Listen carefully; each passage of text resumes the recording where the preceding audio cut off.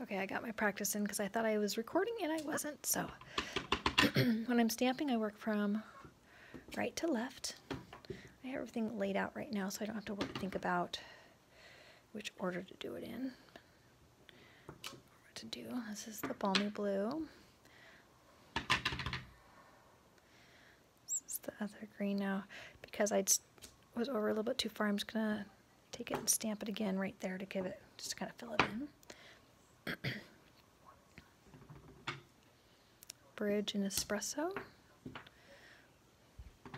Trees and espresso.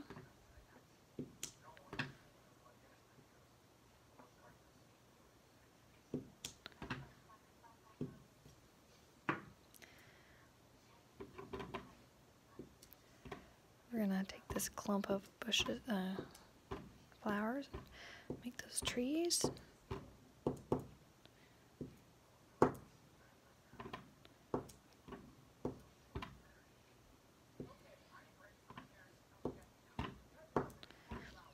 Sorry, you have Dora in the background.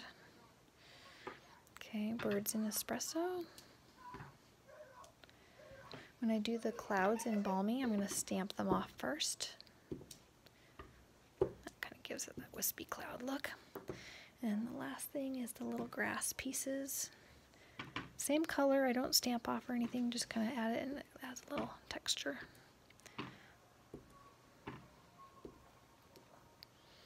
So I think I got everything. There we go. Layer it.